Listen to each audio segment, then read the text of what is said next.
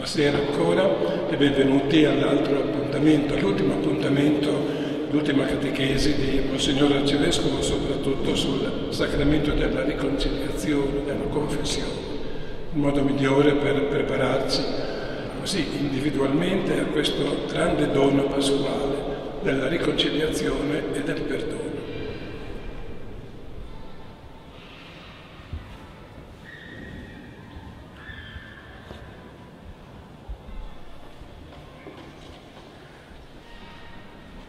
La miseria e la misericordia è il binomio sul quale stiamo riflettendo e ho diviso le due meditazioni proprio così. La miseria tre settimane fa e oggi la misericordia. Parlando della miseria, avevo cominciato dando dei numeri, quasi dando dei numeri nella Bibbia la parola miseria, dicevo, è presente 49 volte.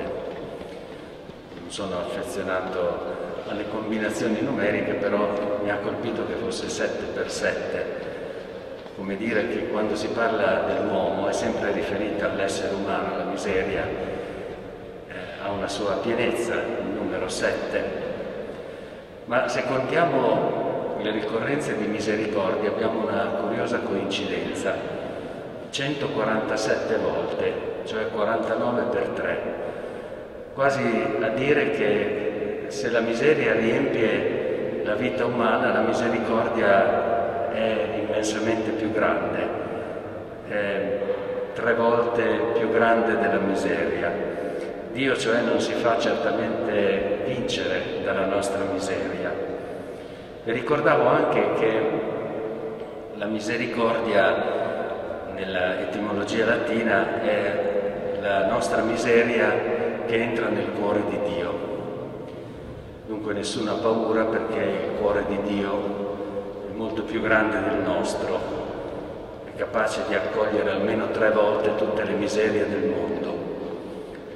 Noi abbiamo proprio qui scolpite sulla pietra due scene che sembrano il contrario l'una dell'altra. La volta scorsa facevo notare le due formelle di Pietro e di Giuda, guardando alla miseria, due grandi miserie, il tradimento e il rinnegamento. Oggi guardiamo alla misericordia, guardiamo a Gesù che qui Gesù seduto sulla cattedra, Gesù che insegna, il Maestro, e che poi poco sotto, anzi qui risulta a fianco, a fianco nel pontile, lava i piedi a Pietro. Il massimo della solennità, Cristo in trono, che benedice, è il massimo dell'abbassamento, Cristo davanti a un catino che lava i piedi. Questa è la misericordia. Il Signore è immensamente grande, è un maestro che non si fa battere da nessuna dottrina umana, ma proprio questa sua dottrina, questa sua maestà si può permettere di abbassarsi fino ai piedi degli uomini, fino ad andare a raccogliere ciò che di più basso c'è nell'umanità. La nostra miseria è visitata, è accolta, è lavata dal Figlio di Dio. Quando noi parliamo di misericordia, sappiamo che stiamo parlando di una idea materna. La misericordia è qualcosa che ci tocca dentro. La misericordia nella etimologia greca, non in quella latina, ha a che fare col grembo materno.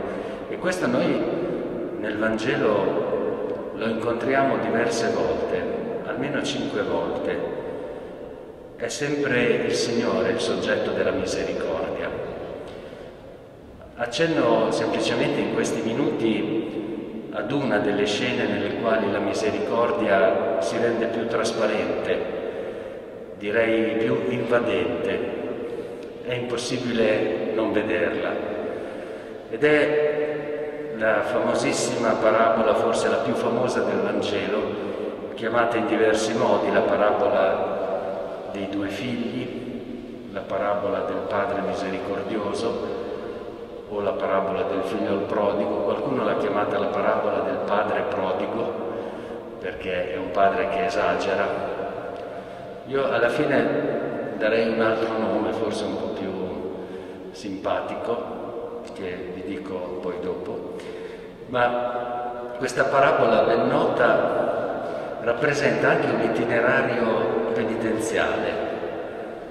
Questi due incontri servono anche a prepararci al sacramento della penitenza e la parabola di Luca capitolo 15, il Padre misericordioso, è proprio un percorso penitenziale. Sono cinque scene che cominciano dal peccato. Nella prima scena dove c'è il figlio minore, un uomo aveva due figli e il minore disse al padre dammi la parte del patrimonio che mi spetta. Molti fanno notare che il figlio minore tratta il padre come se fosse già morto. La divisione del patrimonio normalmente avveniva dopo la morte del padre e non avveniva in parti uguali. Al primogenito maschio toccava la metà dei beni e il resto veniva diviso tra gli altri figli. A questo figlio minore conveniva fare subito la divisione, forse travalicando, andando oltre quello che era permesso perché essendo in due gli toccava proprio la metà. Fossero arrivati altri fratelli, avrebbe dovuto suddividerli ulteriormente. Forse dunque c'è anche un calcolo dietro a questo, c'è una pretesa poco fondata sulla legge, c'è soprattutto una grande presunzione, mi spetta, la parte del patrimonio che mi spetta, va a battere cassa e tratta il padre come se fosse morto, come se già quella fosse un'eredità. Il padre divise tra loro le sostanze, il figlio se ne andò. La cosa che colpisce di più è che il padre non fa nessuna obiezione, è la libertà che ci lascia il Signore. E non è detto neanche il motivo per cui il figlio se n'è andato. Quali sono i motivi per trasgredire la legge del padre? Quali sono i motivi per abbandonare la casa paterna? quali sono le ragioni del peccato. Può essere un istinto che il figlio non riesce a dominare, può essere un senso di schiavitù che lui vive in quella casa, può essere la percezione che fuori c'è una libertà maggiore, si può fare ciò che si vuole, può essere semplicemente il desiderio di avventura. Sono tante le motivazioni per fare una passeggiata fuori dalla casa del padre o addirittura, come dice la parabola, per andarsene lontani. Se è una passeggiatina noi la chiamiamo peccato veniale, se è un viaggio lo chiamiamo peccato mortale, la gravità del peccato che cambia, ma il motivo è sempre quello. Nella casa del padre ci sto stretto, c'è qualcosa di più bello fuori. La seconda scena presenta le conseguenze del peccato. Il peccato è la scelta libera di andarsene, che mette in gioco anche la libertà di Dio, perché Dio non ci tratta come dei burattini telecomandati, ma come dei figli. Ma poi l'uomo sperimenta le conseguenze del peccato e sono conseguenze che si potrebbero riassumere nella parola solitudine. Questo figlio presenta e sperimenta una immensa solitudine, è lontano dalla famiglia, dal padre, dunque ha tagliato i legami più cari. È solo rispetto agli amici che lo frequentavano quando aveva il denaro e lo hanno abbandonato quando il denaro è finito. È solo è smarrito rispetto a se stesso. Infatti il Vangelo dice dopo un po' rientrò in se stesso.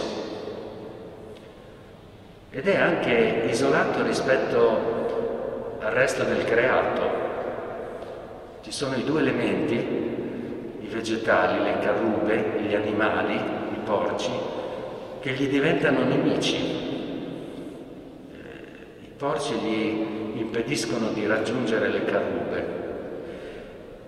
Sono quattro solitudini ben note per i lettori della Bibbia e per gli ascoltatori di Gesù, perché le avevano già sentite nel racconto del peccato della Genesi di Adamo ed Eva, che noi chiamiamo il peccato originale, ma non nel senso cronologico, ma nel senso che ha l'origine di ogni peccato, è dentro l'uomo questo peccato, ogni volta che sceglie contro Dio.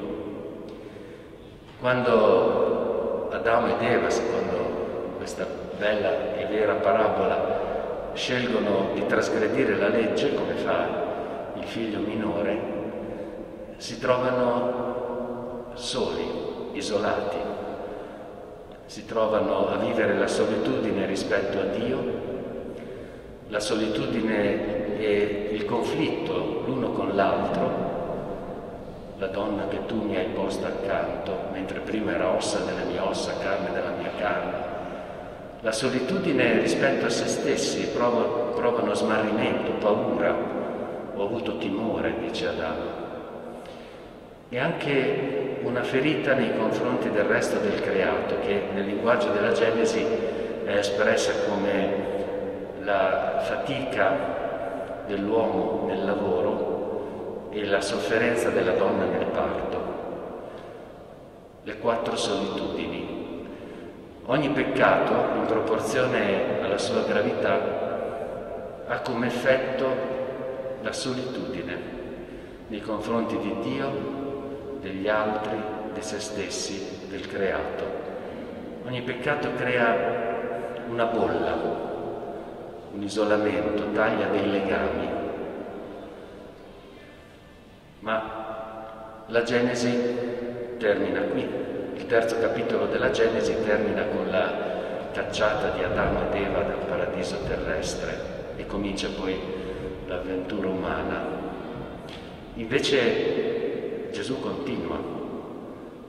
Ci sono altre tre scene nel Vangelo, perché il Vangelo è il trionfo della misericordia sulla miseria. E c'è la terza scena della parabola che è quella, stavo per dire del pentimento, ma direi quasi del calcolo, perché non c'è un pentimento da manuale non c'è una riflessione tale per cui quel ragazzo sia veramente dispiaciuto di avere offeso suo padre e la sua famiglia. C'è un calcolo, là c'è almeno da mangiare, qui muoio di fame, mi alzerò e andrò da mio padre. Il motivo per cui il figlio ritorna è semplicemente un motivo di sopravvivenza, è un bilancio. E qui finalmente lo riconosce come padre, anche se poi lui prepara la, la frase da dire, sono in realtà tre frasi, che rispecchiano un vero pentimento, ma non, non sono frasi autentiche, è un po' falso, alla faccia tosta. Padre, ho peccato contro il cielo e contro di te. Questa sarà la scusa ufficiale del ritorno. Non sono più degno di essere chiamato tuo figlio. E poi la terza frase, trattami almeno come uno dei tuoi servi, dei tuoi salariati. E torna. La quarta scena è assolutamente inaspettata. Credo che anche gli ascoltatori di Gesù si siano alcuni scandalizzati, altri meravigliati. Che cosa avrebbe potuto aspettarsi questo ragazzo? teoricamente un atteggiamento di ira, una sorta di giustizia vendicativa. Il padre avrebbe potuto dirgli rientra come un garzone e lavori per il, tempio, il tempo doppio eh, della, della, dei beni che mi hai sottratto, così impari è una punizione con gli interessi. Però il figlio sapeva che il padre non era vendicativo. Avrebbe potuto aspettarsi un atteggiamento giusto, di giustizia retributiva, cioè torni, ti riprendo in casa e lavori per il tempo necessario a risarcire il, il bene che mi hai portato via ma non fa neanche questo il padre. Forse il figlio poteva sperare un terzo atteggiamento. Ti riprendo, ci metto una pietra sopra, amici come prima, ritorna come figlio. La cosa sorprendente è che il padre non fa neanche così.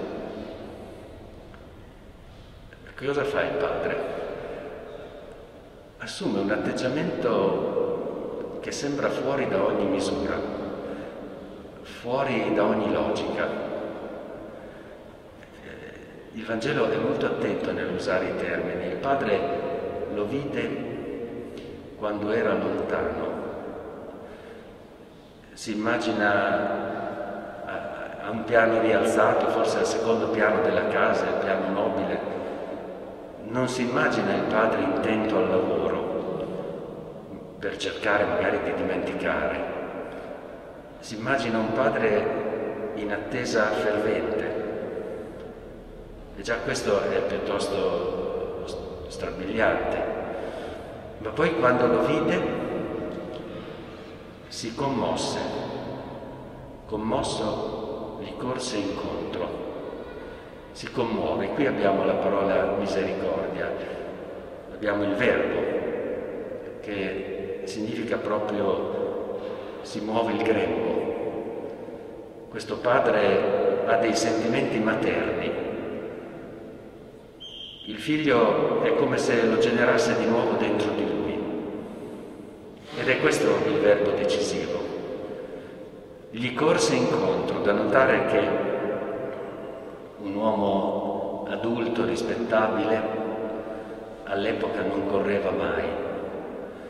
Correvano gli schiavi per il lavoro, correvano gli atleti per le gare, ma gli uomini adulti eh, non correvano.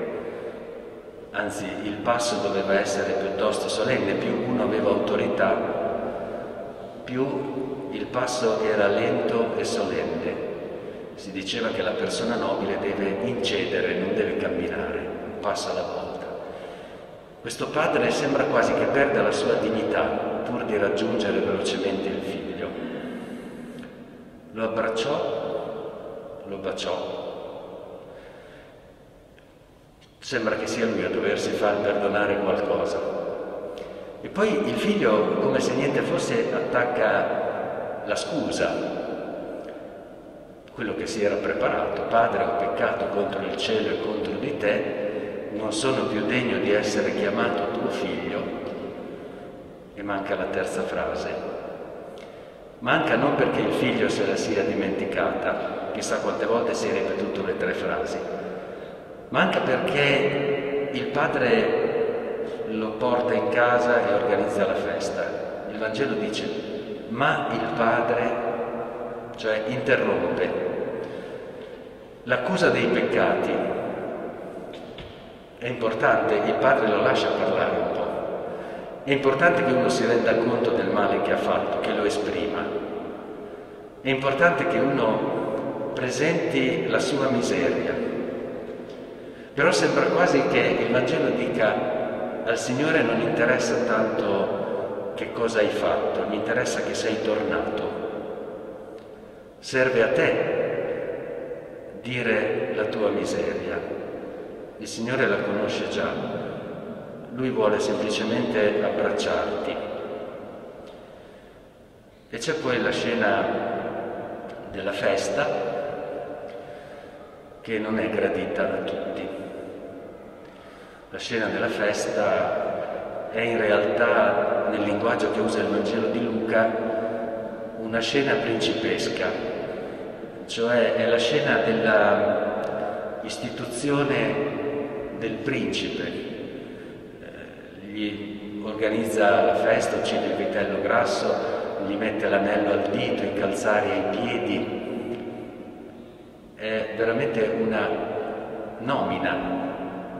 Questo figlio che diceva prendimi almeno come uno dei tuoi servi, dei tuoi garzoni, e poteva però sperare che il padre lo riprendesse al livello di prima, si vede addirittura innalzato. È diventato qualcosa che prima non era. È stata organizzata una festa che non ci sarebbe stata se il figlio non fosse andato via.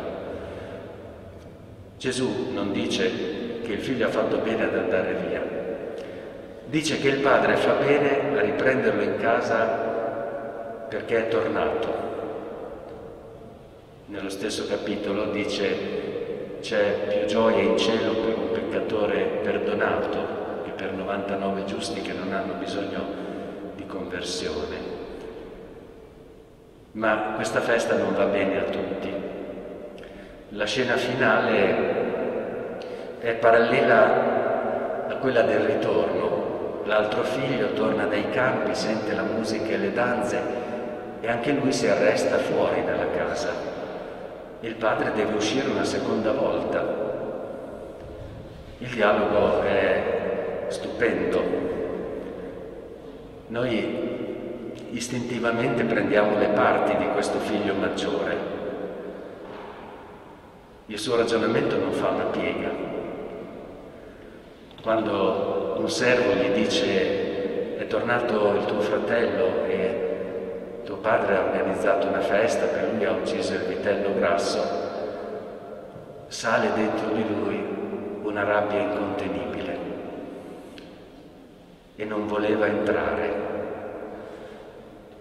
E dice al padre in maniera ineccepibile, io ti ho servito sempre, non ho mai trasgredito nessuno dei tuoi comandi e tu per me non hai ucciso nemmeno un capretto.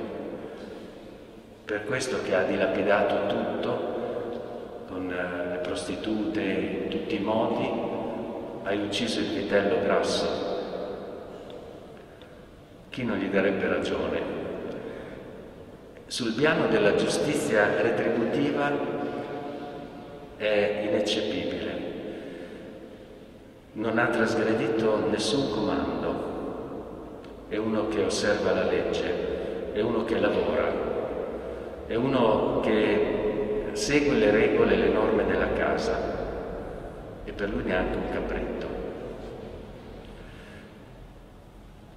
La risposta del padre credo che sia il punto più alto dello svelamento del cuore di Dio. Ci sono tanti passi nei Vangeli dove il Signore svela il suo cuore, ma credo che pochi raggiungano questa altezza. Figlio, tutto ciò che è tuo è mio, tu sei sempre con me. Già questo basta. Cioè Dio sta dicendo, il Signore sta dicendo che condivide tutto con l'uomo. Quel padre sta dicendo che la grande gioia del figlio maggiore deve essere una condivisione che non è mai venuta meno. Gli sta dicendo ma perché sei invidioso di questo tuo fratello che era morto, come gli dice, era morto, cioè eh, ha perduto la casa del padre, aveva abbandonato tutto, ha tagliato le sue relazioni e ha già avuto eh, la punizione per la sua scelta. Ma tu sei sempre con me, tutto ciò che è mio è tuo, non ti rendi conto che questa è la grande gioia della vita. Non scappare dalla casa del Padre, ma stare nella casa del Padre. Non separare i beni, ma condividere. Ciò che è mio è tuo. E non bisognava far festa e rallegrarsi. Questo è il piano della misericordia di Dio, che sta dicendo anche al figlio maggiore, il quale alla fine è il più duro della parabola, sta dicendo la misericordia è anche per te, è, è soprattutto per te, è stata soprattutto per te, ma tu non te ne sei reso conto. Non ti sei reso conto della fortuna che hai avuto, della situazione ideale di stare con me, lo stare con il Signore. Noi non sappiamo se il figlio maggiore è entrato in casa perché Gesù non l'ha detto. Lascia a noi, lettori ascoltatori, di decidere di misurarci con questi due figli.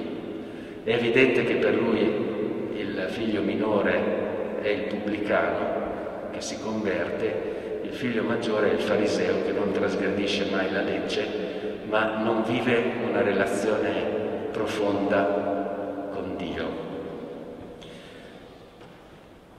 Io proporrei questo titolo un po' curioso, la parabola dei tre animali, perché in realtà ci sono tre animali nascosti nella parabola. Ci sono i maialini, c'è il vitello grasso e c'è il capretto, che sono anche tre immagini di come eh, noi possiamo metterci davanti al Signore. I maialini sono collegati al figlio minore, capretto al figlio maggiore e il vitello grasso al padre. Il, I porci, come sappiamo, per gli ebrei erano animale, animali impuri e non c'era condanna più grande di pascolare i porci per un ebreo, voleva dire essere a contatto continuo con degli animali impuri. Sono l'immagine dell'istinto, l'istinto, quello che spinge il figlio ad andarsene di casa.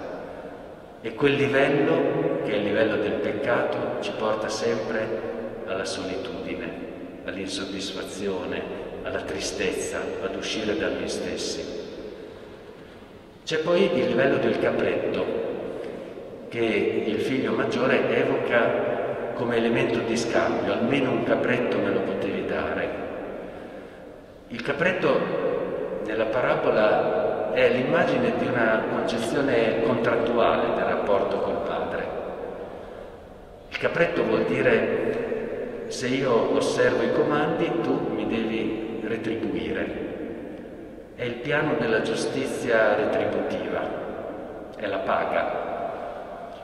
Ma il piano del padre, il livello del padre è quello del vitello grasso, l'abbondanza, l'esagerazione, è il piano della grazia.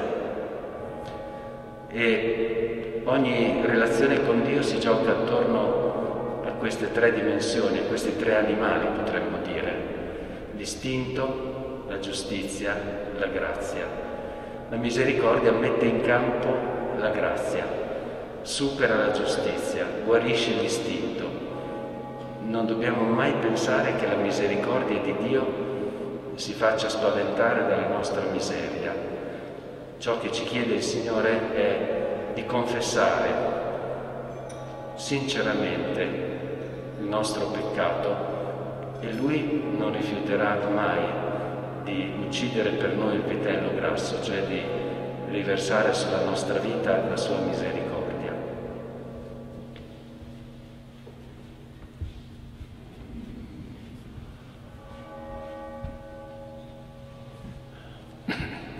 Non possiamo far altro che ringraziare ancora una volta il nostro arcivescovo per queste parole, per le sue catechesi, per i suoi interventi. A volte noi ce la spieghiamo un po' in fretta con un grazie e noi preti aggiungiamo spesso ti ricorderò nella mia preghiera.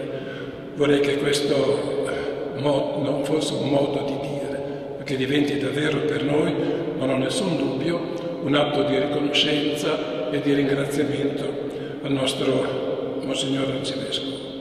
E vorrei concludere con voi, appena suonata la campana dell'Angelus, concludere con la preghiera mariana. Siamo reduci dalla solennità dell'annunciazione del Signore. Non so se avete visto qualche fotogramma qualche scena della celebrazione che si è tenuta nella Basilica dell'Annunciazione a Nazareth. Mi commuove sempre vedere quella scritta sotto l'altare, Ic verbum caro factum est. E oggi nella cappella della Addolorata, la festa della Madonna dei Sette Dolori sulla cappella del Monte Calvario all'interno della Basilica del Santo Sepolcro. Quindi la nostra preghiera a Maria questa sera per la nostra comunità, per la nostra Chiesa e soprattutto per il nostro Arcivescovo.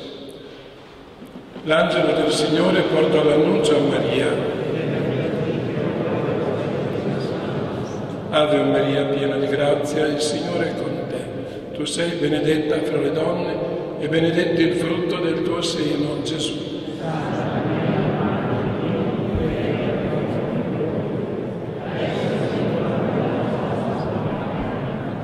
Ecco l'ancella del Signore. Ave Maria, piena di grazia, il Signore è con te. Tu sei benedetta fra le donne e benedetto è il frutto del tuo seno, Gesù.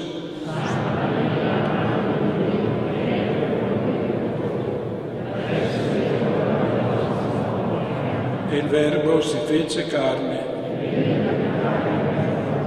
Ave Maria, piena di grazia, il Signore è con te. Tu sei benedetta fra le donne e benedetto è il frutto del tuo seno, Gesù.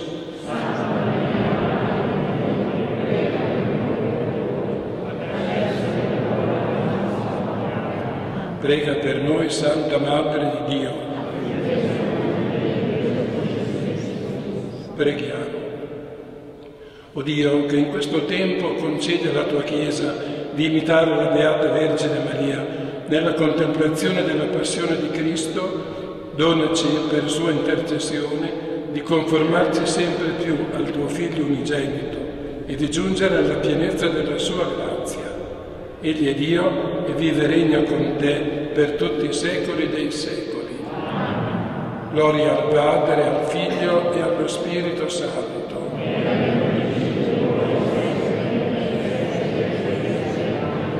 l'eterno riposo, dona loro, Signore, e splenda ad essi la luce perpetua, riposino in pace. Eccellenza, le chiediamo ancora la benedizione, se non della buonanotte, almeno della buona serata e soprattutto la benedizione perché possiamo vivere con intensità e con verità, pure nei limiti e nelle, appunto, nelle limitazioni prescritte la settimana santa della passione, morte e resurrezione del Signore e ancora grazie da tutti noi. Il Signore sia con voi. Benedica Dio Onnipotente, Padre e Figlio e Spirito Santo. Anche da parte mia, grazie e buona settimana santa. Grazie.